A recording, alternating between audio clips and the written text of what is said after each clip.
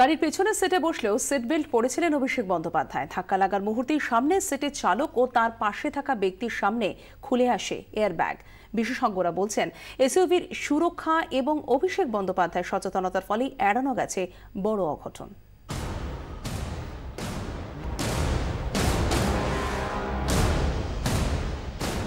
আমরা যেখানে দাঁড়িয়ে রয়েছি ঠিক সেখানেই দুর্ঘটনার কবলে পড়েছিল অভিষেক বন্দ্যোপাধ্যায় এবং তার সিকিউরিটির গাড়ি। ঠিক এখানে দাঁড়িয়েছিল একটা মিল্ক ভ্যান। অভিষেক বন্দ্যোপাধ্যায়ের গাড়ি সরাসরি আঘাত করে সেই মিল্ক ভ্যানকে এবং তারপর রাস্তা থেকে ছিটকে উল্টো দিকে যে ডিভাইডার রয়েছে, মাঝখানে যে ছোট খাল টাইপের রয়েছে, সেখানে গিয়ে তিনটে পাল্টি খায়। মসৃণ দুর্গাপুর এক্সপ্রেসওয়ে। দুর্ঘটনার সময় ঘণ্টা একশো দশ থেকে একশো কুড়ি কিলোমিটার গতিতে ছুটছিল অভিষেক বন্দ্যোপাধ্যায়ের গাড়ি। এসইউভির সামনের সিটে চালকের পাশে বসেছিলেন অভিষেক বন্দ্যোপাধ্যায়ের আত্মসহায়ক সুমিত রায়।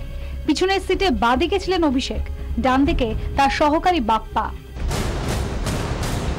তীব্র গতিতে দুধের গাড়ির সঙ্গে ধাক্কা। ধাক্কা লাগার পর সাংসদের গাড়ি একাধিকবার উল্টে যায়। যদিও অভিষেক বন্দ্যোপাধ্যায় এবং তার সহযাত্রীরা সকলেই বড় ধরনের চোট আঘাত থেকে রক্ষা পেয়েছেন। কীভাবে?